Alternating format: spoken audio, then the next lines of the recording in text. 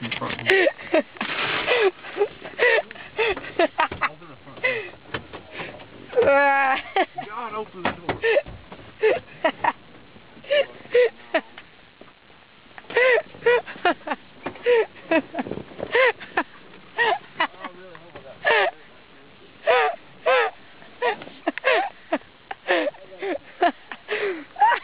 Dude, I bet it didn't even do anything to the tire. I bet it just knocked it off the rim. Like knocked it off like made it go flat.